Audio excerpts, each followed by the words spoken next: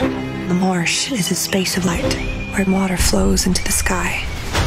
The marsh keeps secrets. It understands that every creature does what it must to survive.